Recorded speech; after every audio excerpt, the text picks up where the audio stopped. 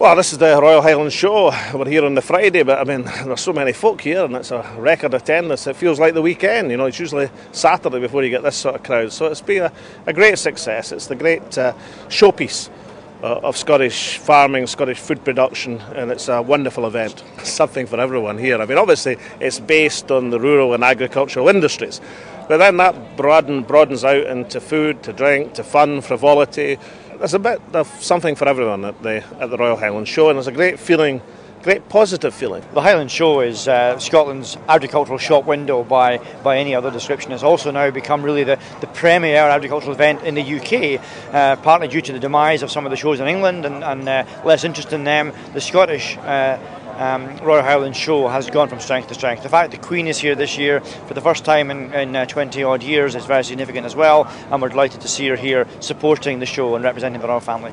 It strikes me as being very busy. I haven't seen the numbers figures yet on attendance, but certainly the numbers of stock that were booked into the show, um, both in terms of cattle, sheep, uh, and, and, other animals, are way above uh, normal normal levels. So great interest in the show, and it's going from strength to strength.